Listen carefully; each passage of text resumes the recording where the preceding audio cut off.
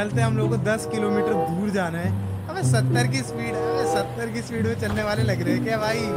इतनी महँगी गाड़ी लेके 70 की स्पीड में चलेंगे ओए जो रोड पे साइन है उसी साइन के हिसाब से चलो।